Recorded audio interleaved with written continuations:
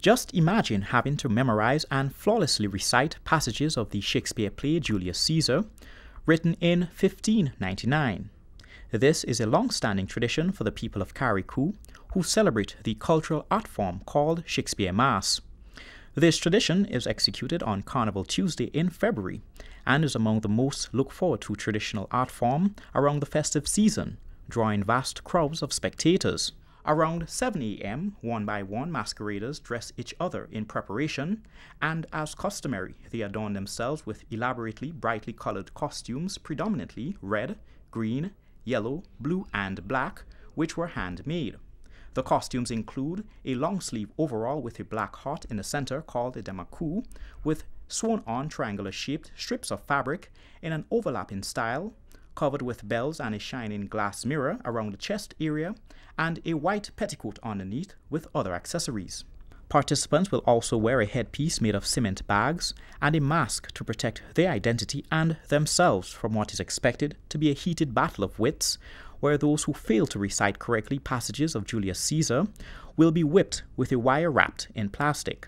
The colors of red, green, yellow, and black that adorn the masqueraders also denotes spiritual significance within the West African culture and can be found in the worship of Yoruba Orishas, which are deities like Ishu, Ogun, Oshun, and Shango. The mirrors used on the costume also have a deep meaning, as it is said to be worn to represent the realm where their deceased ancestors dwell, and have been known to decorate the early 20th century graves in the African Congo. However, remnants of the history are still fresh in the minds of retired mass players, as they recall reciting school excerpts, selections from Julius Caesar, originally pulled from the Royal Reader literature used in schools during the colonial era from the 1800s to the 1950s, but of recent, masqueraders are opting more to recite passages of the friends, Romans, countrymen from Julius Caesar. Now, Julius Caesar is what most Carriacouans play as the Shakespeare Mas and we started teaching the children from the Julius Caesar and hoping that they would keep the tradition going. The Shakespeare Mas is reminiscent of a medieval European individual known as a court jester, similar to a modern day clown, who is said to be a nonconformist European entertainer with exceptional verbal or physical skills. Although these court jesters were focused on entertaining the noblemen and members of the royal family, they also convey a deeper political undertone, subliminally transmitting stories disguised as entertainment, a portrayal that is also reflected in the Shakespeare mas performance, disguised to mock colonial dictators, while also secretly revealing the disciplinarian tactics used on enslaved Africans. The movement of mass players resembles that of stick fighting popularized in several Caribbean countries, including Trinidad and Tobago, and the whips signify the abusive weapons used by hostile Europeans to maintain control during slavery. This aspect, recalling the torturous days of slavery, can be seen with the occasional striking of one another on the crown headpiece whenever a masquerader makes a mistake.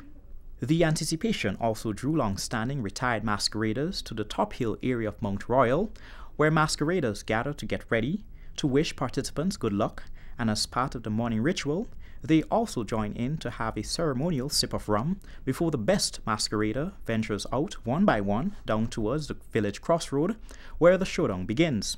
Traditionally, only men will play the Shakespeare Mas, but of recent, girls are also getting more involved at the crossroad near the Mount Royal La Resource Community Center, masqueraders converge to recite meticulously learnt verses from Shakespeare's play Julius Caesar, as spectators gather around in a circle referred to as a cipher to cheer on. Oh, Caesar!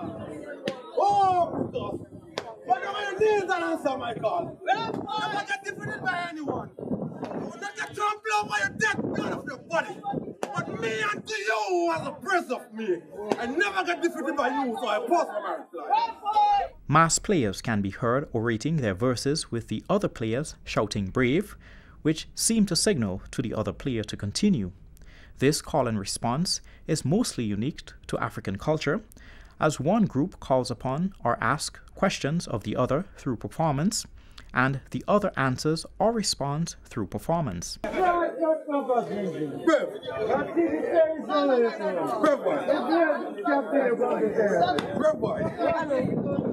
The experience this morning was great enough.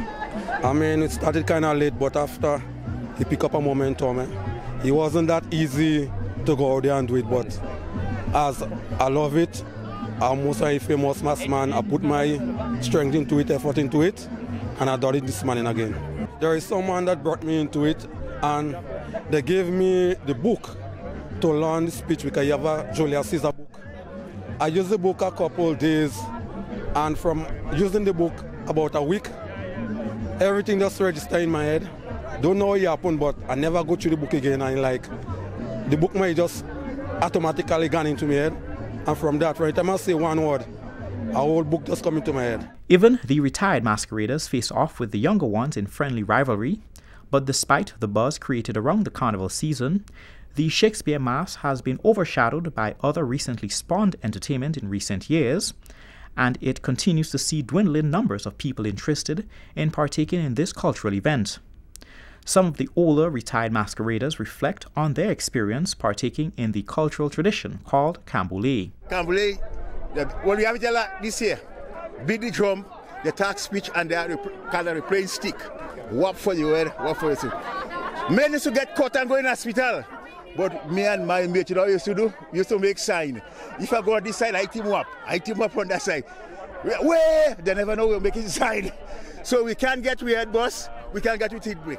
You have one here in Bigodia, about five of them are up in hospital by place teeth break.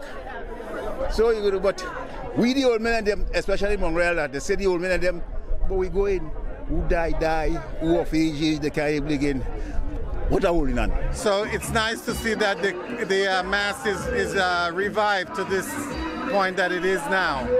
Today was good, and it's nice to see that the young children are involved. So, you know, to carry on the tradition. After the showdown at Mount Royal, the Shakespeare Mas players, including the younger ones, relocate to the city to stage the ultimate showdown in Hillsborough, where their rivals from Six Roads signaled their presence while marching up by chanting, Tell them we coming down, who in the way cleared the way.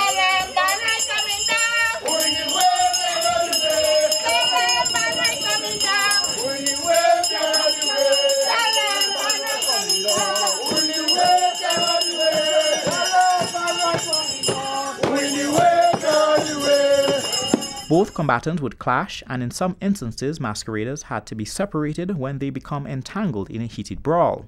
Upon completion of the Mass, people retreat to the market square to feast on some delicious foods. Well, we usually cook the, like a saraka food, we cook the, the rice and peas.